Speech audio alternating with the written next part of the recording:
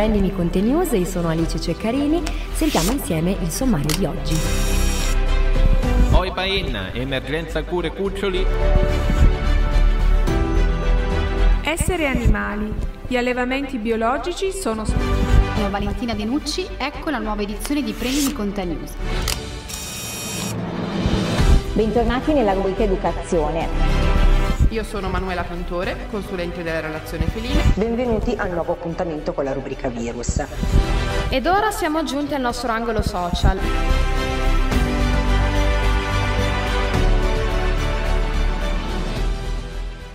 Bergamo. Traffico illegale di cuccioli di cane dall'Est Europa. EMPA. Salvati due cuccioli gettati nell'immondizia. OIPA. Storia di Joe abbandonato con una zampa spezzata. Diamo inizio anche oggi ad una nuova edizione di Prendimi con te News. Salutiamo tutti voi che ci seguite da casa e partiamo con la prima notizia di oggi che arriva dalla provincia di Bergamo, in cui è stato scoperto un traffico illegale di cuccioli di cane provenienti dall'Est Europa. Per questo reato è stata arrestata un'intera famiglia, ma vediamolo meglio nel servizio che segue. Un'intera famiglia, padre, madre, figli e genero, è stata arrestata dalla polizia stradale di Bergamo per truffa e frode nel commercio di cuccioli di cane. La loro azienda agricola è stata posta sotto sequestro e 57 esemplari di cani sono stati recuperati e affidati alle cure dei veterinari di ATS Bergamo. Il blitz della stradale è scattato a seguito di una sessantina di denunce sporte nei confronti dei titolari dell'azienda agricola dopo che i cuccioli morivano o risultavano affetti da gravi malattie nelle prime settimane di vita. La stessa stradale, coordinata dal PM Silvia Marchina, riferisce del cinismo della famiglia, che emerge anche da una frase intercettata. Il cane deve essere messo in braccio al bambino così si affeziona e lo compra di sicuro. Il padre adesso è in carcere, mentre gli altri familiari sono ai domiciliari. Gli animali venivano importati come cuccioli dall'Ungheria, ma venduti come nati all'azienda agricola. L'indagine era iniziata nel 2020 e proseguita anche durante la pandemia. Alcuni animali venivano venduti come cani di razza, ma non lo erano, così come non avevano microchip e vaccinazioni.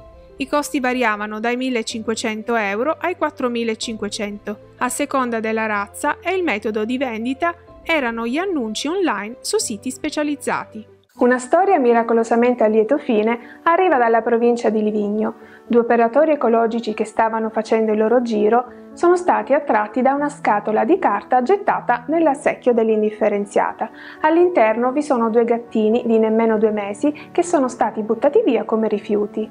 I due operatori ecologici chiamano subito la Polizia Municipale di Livigno che affida i due gattini all'EMPA, ma vediamolo nel servizio che segue buttati dentro un secchione dell'immondizia come fossero un rifiuto da smaltire. Una brutta storia, miracolosamente a lieto fine, arriva da Livigno. È mercoledì 12 ottobre e una coppia di operatori ecologici sta lavorando. Non ci sono rumori particolari, ma una scatola chiusa ermeticamente dentro il secchio dell'indifferenziata attira la loro attenzione. Probabilmente non andava buttata lì. La prendono per smaltirla nella carta, ma una volta tra le mani si accorgono che non è vuota e che da dentro arrivano dei miagolii. La aprono e si vedono sbucare due musetti meravigliosi, con dei grandi occhi azzurri che li fissano. Due gattini di meno di due mesi erano stati gettati lì come rifiuti. Sono magri e infreddoliti e i due operatori ecologici chiamano subito la Polizia Municipale di Livigno. Gli agenti li portano al comando e contattano subito l'Ente Nazionale Protezione Animali.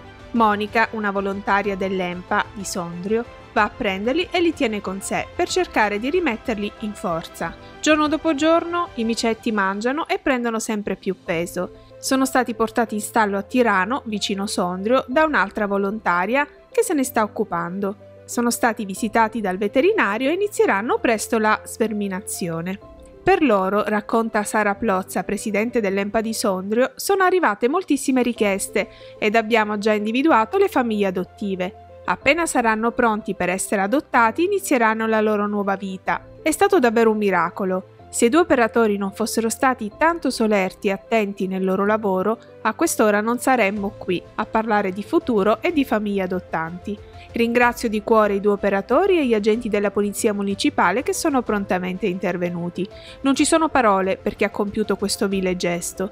Chiediamo a chiunque abbia visto qualcosa di farsi avanti e denunciare. Ritrovato in condizioni drammatiche, Joe, così è stato chiamato dai volontari dell'OIPA di Napoli, è stato subito ricoverato in prognosi riservata per parecchio tempo. Prima di abbandonarlo, non solo il suo aguzzino l'ha affamato fino a renderlo uno scheletro, ma gli ha anche spezzato una zampetta. È stato schiavizzato per cacciare fino allo stremo delle sue forze. Questo dolcissimo setter ha subito veramente una violenza inaudita che lo ha segnato per sempre sia nel corpo che nell'anima. Ma vediamo insieme l'epilogo di questa triste storia. Eccolo qui, guardate come l'hanno ridotto. Ha una doppia frattura alla zampa, è magro da far paura, ha la rognato. Guardate qui, guardate come l'hanno ridotto. Questo è quello che succede ai setter, che li fanno regalare per andare a caccia. Dopo li prendono, li abbandonano, li lasciano in zone dove non possono procurarsi né cibo né acqua. Cane che chissà da quanti giorni non mangiava, chissà da quanto tempo non vedeva. Un cane che chiede solo coccole e chiede solo aiuto. E quindi grazie al nostro amore e alle cure della struttura ritornerai di nuovo bello prima. E noi saremo qui a gioire insieme a te. Dovrà subire un intervento chirurgico per quanto riguarda la fattura e in massaggio noi la stiamo curando. Vi parliamo adesso della storia di Angelo. Recuperato dai volontari dell'OIPA di Floridia in provincia di Siracusa, questo povero cagnolino era stato investito e presentava dei forti dolori agli arti posteriori. Una volta curato, col tempo gli angeli blu si sono accorti di una serie di problemi che lo affliggono, ma conosciamoli insieme. Angelo l'abbiamo recuperato in strada, era stato investito, aveva dolori alle zampe posteriori, l'abbiamo curato, però man mano ci siamo accorti che c'era qualcosa che non andava. Angelo quando mangia tasta le crocchette con le zampe, deambula. Con lui per mangiare deve tastare le crocchette e questa è la posizione delle zampe posteriori. Quando cammina non ha un andamento normale, un'andatura normale lo abbiamo portato a visita da un neurologo e ha un sospetto di cimurro avuto da piccolo oppure un tumore al cervello. E dobbiamo fargli una, o un attacco o una risonanza magnetica. Il costo di ambedue accertamenti noi non lo possiamo sostenere da soli. Angelo è un cagnolino di circa 4 anni, dolcissimo, però deve guarire. Deve guarire e speriamo di trovargli anche un'adozione. Proseguiamo con il nostro notiziario e passiamo alla rubrica adozioni. Come sappiamo, nei canili e nei gattili di tutta Italia vi sono ben oltre mezzo milione di cani e di gatti che sono in attesa che qualcuno li porti via da lì e gli dia il calore di una famiglia. Molti di loro sono anziani e rischiano di non uscire mai da lì. Quindi fatevi avanti e chiamateci per adottarli al nostro numero WhatsApp 351 1755 144. Vediamo adesso gli appelli selezionati oggi per voi.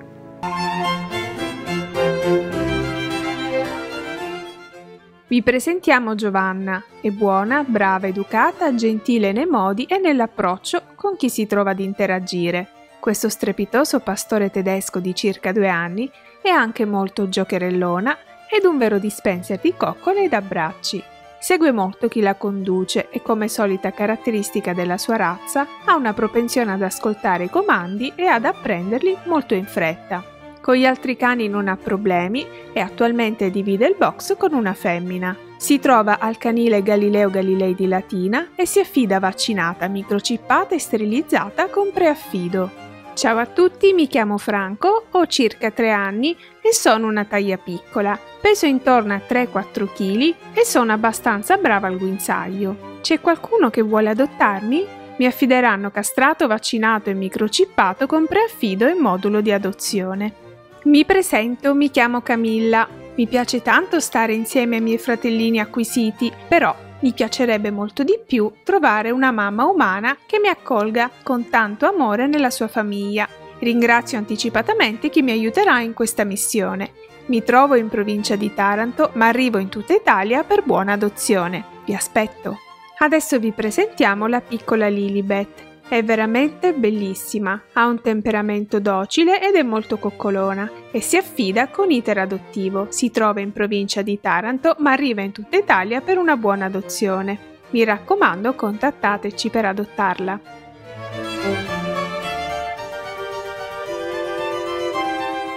Adesso proseguiamo dando la parola alla nostra consulente della relazione felina Manuela Pintore e alla sua rubrica dedicata interamente ai nostri amici gatti. Vediamo quale sarà l'argomento di oggi.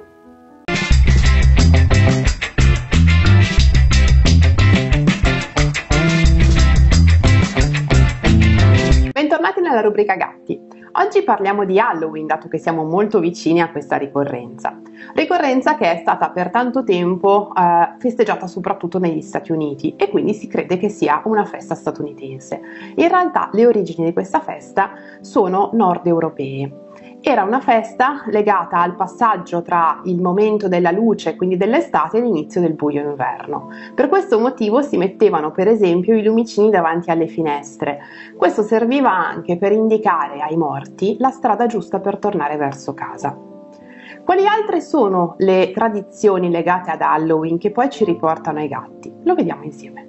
Una delle leggende legate ad Halloween coinvolge proprio i nostri amici gatti. Si narra che i villaggi fossero invasi da terribili e giganteschi felini neri che di notte seminavano il terrore. Si chiamavano Cat Sit, erano streghe condannate a vestire per sempre i panni felini e capaci di rubare l'anima dei defunti prima della sepoltura, mentre nella notte di ogni santi diventavano dei portafortuna e potevano benedire le case in cambio di un po' di latte da far trovare proprio fuori dalla porta. Sono passati secoli, ma le superstizioni sono sopravvissute e ancora oggi ci sono almeno un milione di italiani che considerano il gatto nero un portasfortuna, toccano amuleti o portano amuleti con loro e addirittura si fermano o cambiano strada se il gatto nero attraversa davanti a loro. Questo quindi è uh, un motivo di preoccupazione soprattutto per i volontari che uh, devono stare attenti nell'affidamento proprio dei gatti neri. E adesso vediamo meglio perché. Un pericolo ancora maggiore per i gatti neri è proprio rappresentato dai riti satanici, particolarmente presenti in alcune zone come il Piemonte, la Lombardia, la Liguria, l'Emilia-Romagna, il Veneto e il Lazio. Questi rituali, che hanno origine nel Medioevo, sono svolti da adepti che si riuniscono in luoghi isolati in particolari periodi dell'anno, come per esempio la notte di Halloween, e tra i rituali praticati c'è il sacrificio di gatti neri. Se avete un gatto nero ed è abituato ad uscire o comunque a farsi dei giri intorno a casa, la raccomandazione è quella di tenerlo in casa proprio nella notte di Halloween, quindi tra il 31 di ottobre e il 1 di novembre. E spesso è meglio anche chiuderlo in casa fino al 2 di novembre, proprio perché c'è un rischio di mh, mm, prele- essere prelevato per essere poi utilizzato per questi, per questi rituali. Addirittura anche i volontari fanno più attenzione in questo periodo nella, nell'adozione dei, dei gatti, quindi quando ci sono cucciolate o gatti adulti neri si cerca sempre di evitare un'adozione proprio in questo periodo. Quindi fate più attenzione tra il 31 e il 2 di novembre, tra il 31 di ottobre e il 2 di novembre ai vostri gatti se escono. Per combattere l'ignoranza e superare le superstizioni è stata istituita la giornata del gatto nero, che si celebra proprio il 17 di novembre, con lo scopo di sfatare tutti i falsi miti e le credenze popolari, e non è un caso che il giorno scelto sia proprio il 17. Per la rubrica Gatti è tutto, io vi ringrazio e vi do appuntamento alla prossima edizione.